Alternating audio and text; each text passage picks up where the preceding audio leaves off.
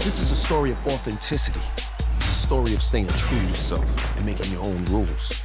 This is a story of capturing a moment in time while remaining timeless and striking the perfect balance between substance and style. This is a story that goes deep and looks behind the curtain, beyond the hype. It's about independence, intellect, and rebellion, analyzed by the minds who know how to break it all down.